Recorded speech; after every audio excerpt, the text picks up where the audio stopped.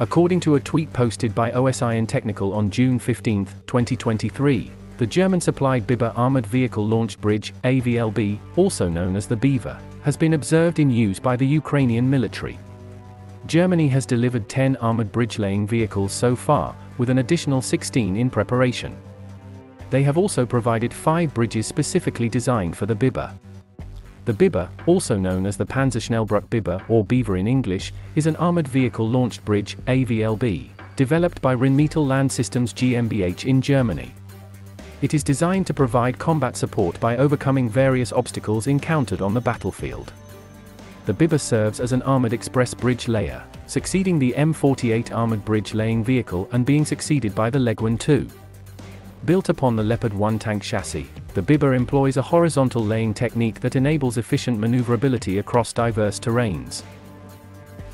With its armor protection of up to 70 mm, this 45.3-ton vehicle can swiftly deploy a 22-meter long and 4-meter wide bridge in just 2 minutes, while remaining shielded.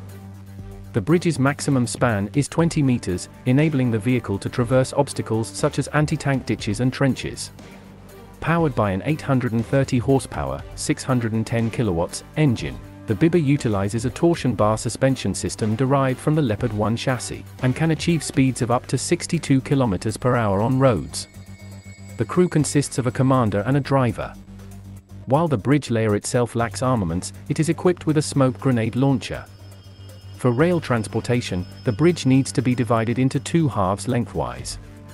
On the other hand, a specialized three-axle flatbed trailer weighing 15 tons is employed for road transport, allowing the bridge to be conveyed either in halves or disassembled into quarters. During the bridge laying process, the bridge assumes a horizontal position using a free cantilever arrangement, differing from the scissor method employed by other bridge layers. In the transport position, the two symmetrical bridge halves lie horizontally atop each other on the vehicle's main and rear booms. When it is time to deploy the bridge, the two elements are lifted, and the lower half is pushed forward. Once connected, the entire fixed bridge is lowered over the obstacle using the main boom. The retrieval process follows the reverse order, and throughout the laying process, the load is supported by the plate attached to the bow, ensuring the crew's protection.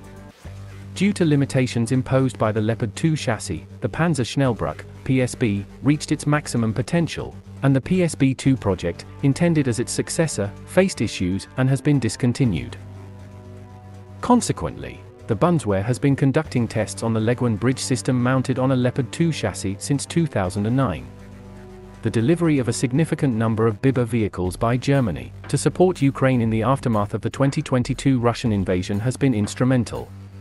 With 10 armored bridge-laying vehicles already received by mid-July 2023, and an additional 16 in preparation for delivery, Ukraine's mobility and operational flexibility will be greatly enhanced, particularly in navigating challenging terrains that include anti-tank ditches and trenches.